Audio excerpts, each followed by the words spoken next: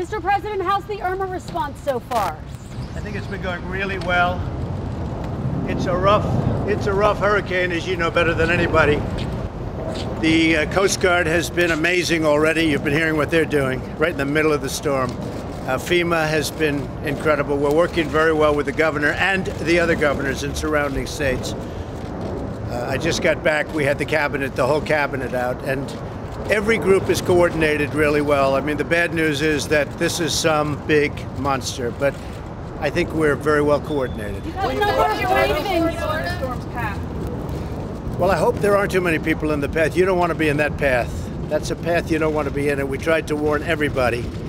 And for the most part, they've left, but that's a bad path to be in. Are you going to visit Florida in the coming days? I'll be. We're going to Florida very soon. Mr. President, you've had a number of briefings. Was there anything that concerns you most? Well, just the power of this hurricane. This is probably, I saw somebody said 57 years now. Who knows what that means? But it's just about the biggest ever recorded that hit land, and unfortunately, we got it.